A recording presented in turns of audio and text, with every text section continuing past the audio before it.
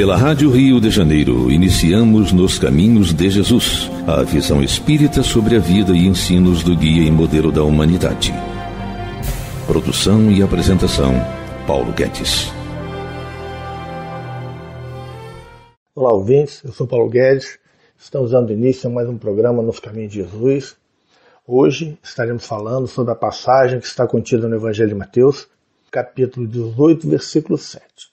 E essa passagem ela diz o seguinte: Ai do mundo por causa dos escândalos, porque é, é que venha os escândalos, mas ai daquele homem por quem o escândalo vem.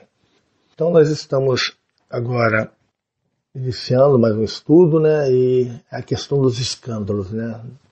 Que Jesus comenta em seu, em seu evangelho. É, é bem interessante essa passagem, porque ela fala né, do, da necessidade de passarmos por algumas situações, por exemplo, algumas provas, algum, algumas situações que surgem em nossas vidas. Mas ao mesmo tempo Jesus diz, né, é importante que, que venham os escândalos, que venham as provações, que venham as dificuldades. Mas ai daquele por quem vem o escândalo, aquelas pessoas que criam problema na vida dos outros, que fazem os outros passarem por provações. Isso é uma questão que está tá bem, bem esclarecida aqui por Jesus para que a gente possa realmente entender. É, nesse versículo, a palavra escândalo é o substantivo do verbo fazer tropeçar, que aparece no versículo 6. Há duas explicações sobre essa expressão de Jesus.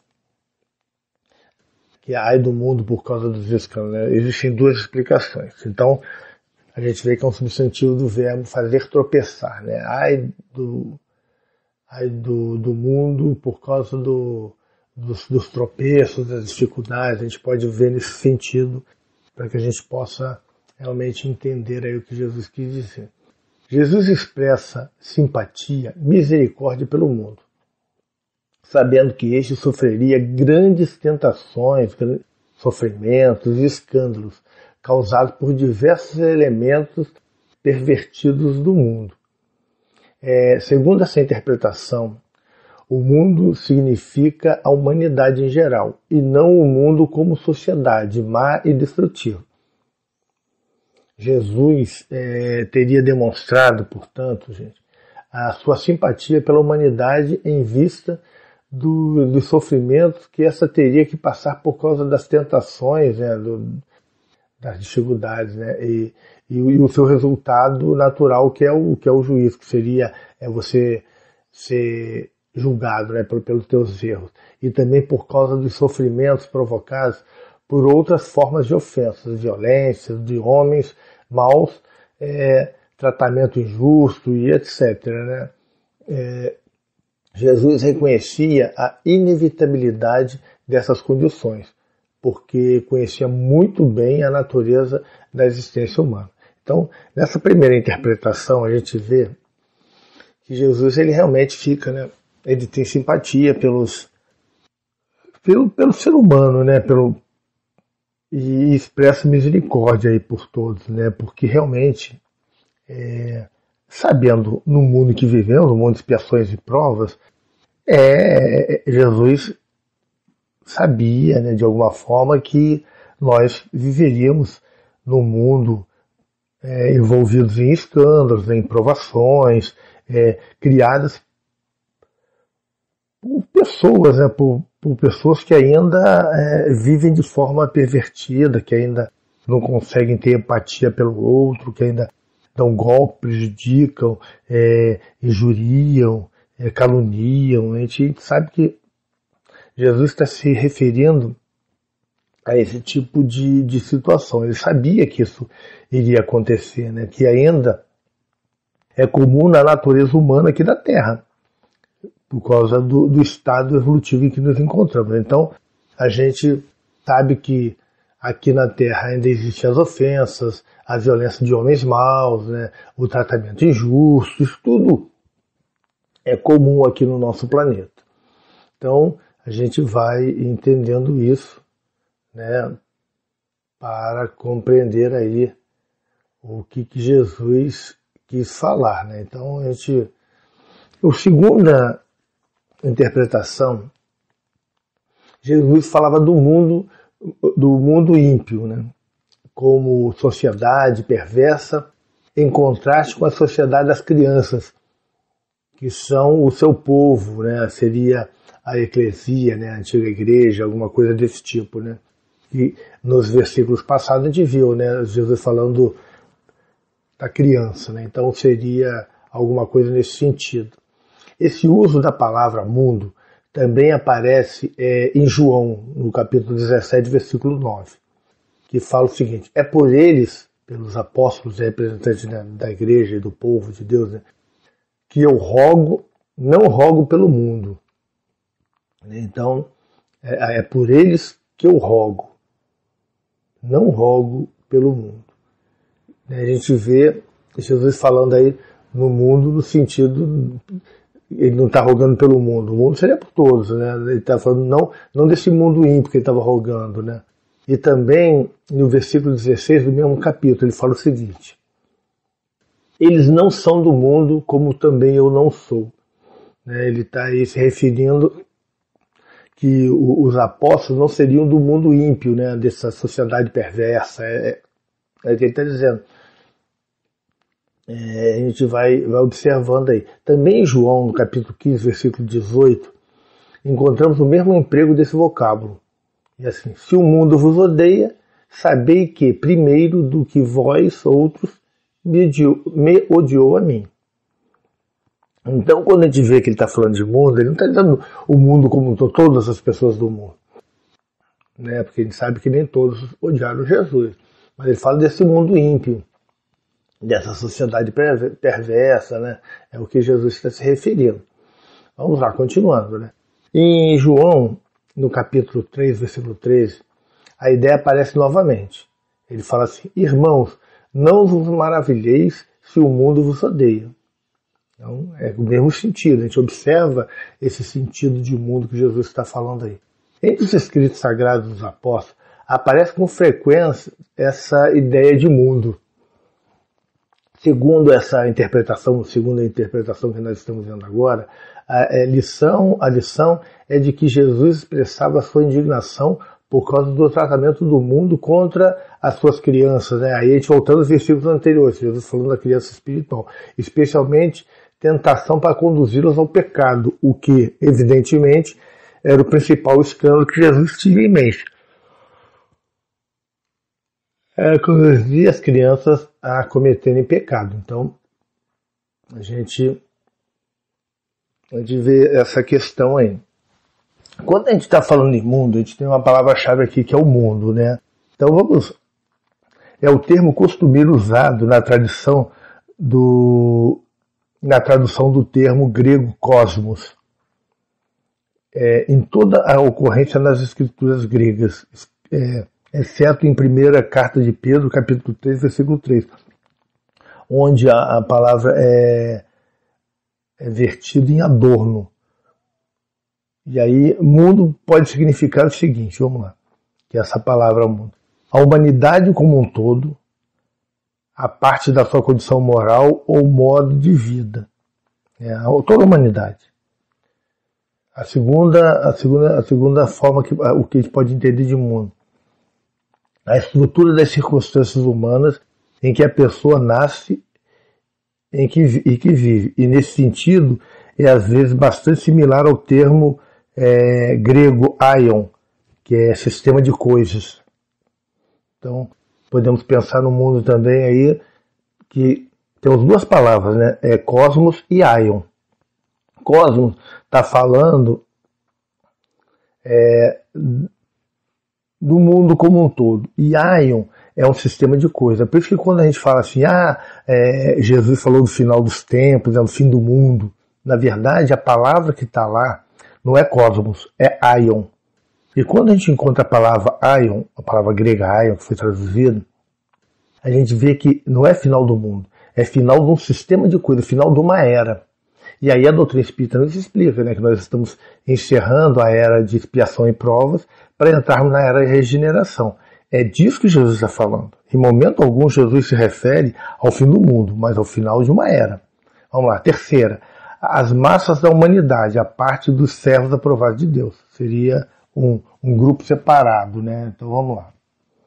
É, na, na versão King, King James, da Bíblia King James, que é versão né, do rei James, né, usa a palavra world, mundo, não só para traduzir cosmos, mas também mais três palavras gregas em algumas das suas traduções, que é G, Gion, Oikomené, e cinco diferentes palavras hebraicas, Eretz, Redel, Rederé, Olam, Orlan e Tevel. É, isto resulta numa mistura ofuscante e confusa de sentidos, que torna difícil obter o entendimento correto dos textos envolvidos. Traduções posteriores serviram para elucidar consideravelmente essa confusão. Porque quando você usa várias palavras, às vezes fica confuso. E aí, no, no, no caso, ele procura, é, depois procurou se corrigir isso. A palavra hebraica eretz e a grega ge, da qual derivam as palavras olha só, geografia e geologia, significam terra, chão, solo, conforme a gente vê em Gênesis capítulo 6, versículo 4, Número capítulo 1, versículo 1, Mateus capítulo 2, versículo 6, capítulo 5, versículo 5, capítulo 10, versículo 29, capítulo 13, versículo 5. Embora em alguns casos talvez represente em sentido figurado as pessoas da terra, como no Salmo 66, versículo 4, e em, em revelação lá em Apocalipse, capítulo 3, versículo 3. Tanto o é, Arlan, que é hebraico, como Aion, grego, se relacionam basicamente com um período de duração indefinida conforme a gente vê em Gênesis, capítulo 6, versículo 3, capítulo 17, versículo 13, em Lucas, capítulo 1, versículo 70. Aion pode também significar o sistema de coisas, que eu tinha falado, que caracteriza determinado período ou época. Eu lembro é, é, o nosso período de expiação em prova para o período de regeneração, conforme a gente vê em Gálatas, capítulo 1, versículo 4. Reled, que é hebraico, tem um sentido algo similar e pode ser traduzido por termos como duração da vida, sistema de coisas, conforme está em Jó, capítulo 11, versículo 17, e em Salomão, capítulo 17, versículo 14. Oikomené, que é grego, significa terra habitada, conforme está em Lucas, capítulo 21, versículo 26. E Tevel, hebraico, pode ser traduzido por solo produtivo, conforme está em 2 Salomão, capítulo 22, versículo 16. Redel, Redhel, hebraico, ocorre apenas em Isaías, capítulo 38, versículo 11. E na versão Almeida é traduzido por mundo, na expressão moradores do mundo. Então a gente vê que tem um monte de palavras aqui que acabam significando várias coisas e hoje praticamente tudo se traduz como mundo. Então a gente vai entendendo aí o que, o que realmente quer dizer. Vamos fazer um pequeno intervalo e já retornamos com o programa Nos Caminhos de Jesus. Até já. Estamos apresentando Nos Caminhos de Jesus, a vida e ensinos do guia e modelo da humanidade.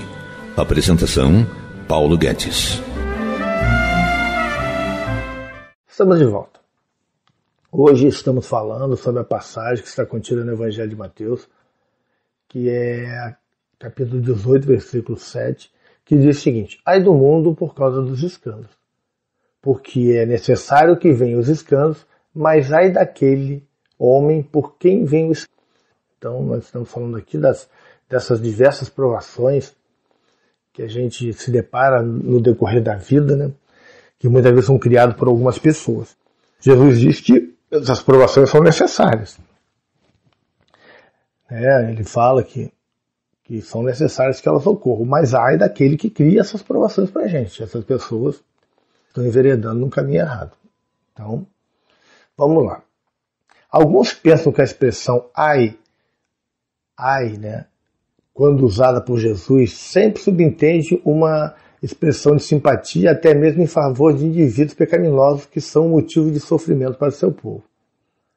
É, Jesus mostra aqui a necessidade de nos resguardarmos das sensações, dos sofrimentos, pronunciando julgamento contra aqueles que o causam. mas mesmo assim sente amor e compaixão por esses, que sofrerão castigo devido às suas ações. É, ambas as interpretações são válidas e nos é impossível afirmar com exatidão qual delas Jesus tinha o propósito de expressar. Claro, Jesus ele está fazendo julgamento, ele está dizendo ai daqueles que fazem com que o escândalo chegue na vida dos outros, que as provações cheguem na vida dos outros. Claro, Jesus ele sabe da condição espiritual da Terra, na nossa condição espiritual, então ele ficava é, assim com compaixão, porque sabia que quem quem faz essas coisas vai passar mais cedo ou mais tarde por, por grandes dificuldades, por grandes provações. Isso ele sabia. Então ele tinha essa, essa preocupação, mas ele tinha que deixar registrado isso para que nós, no decorrer do tempo, viéssemos a, ao ler o Evangelho entender isso, que essas provações fazem parte ainda do processo evolutivo da humanidade. Mas não é por causa disso que nós vamos aprovar as pessoas que fazem isso. Elas não deveriam fazer, mas fazem e acabam servindo de veículo de prova para quem está precisando é, passar por algumas situações ah, para resgatar dívida, para aprender alguma coisa.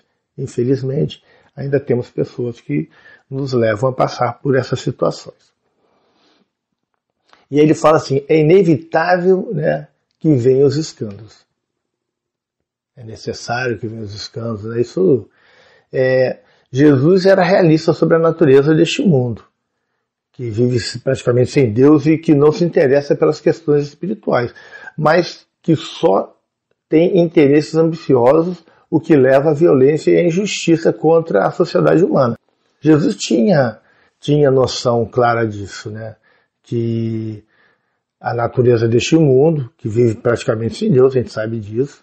Hoje, mesmo com a quantidade de religião, a quantidade de pessoas que se dizem religiosos, então Jesus sabia né, dessa, da condição. Né? É, Jesus sempre advertia a, ao povo, né, ao seu povo, sabendo que além dos pesados sofrimentos que a humanidade inteira geralmente sofre às mãos de, de homens perversos, o, os piedosos que formam sua, sua, o seu grupo, né, formam seus seguidores, devem sofrer perseguição e tratamento injusto da parte dos ímpios. Isso Jesus deixa claro aí que isso ia ocorrer no decorrer do tempo. Né? Alguns intérpretes insistem em afirmar que Jesus não aludia à necessidade metafísica, como se fosse uma, uma determinação de Deus à existência de indivíduos pecaminosos, a fim de maltratar o seu povo. E sim que se referia à necessidade histórica, isto é, que o julgamento deve ser acompanhado pelos maus tratos contra seu povo.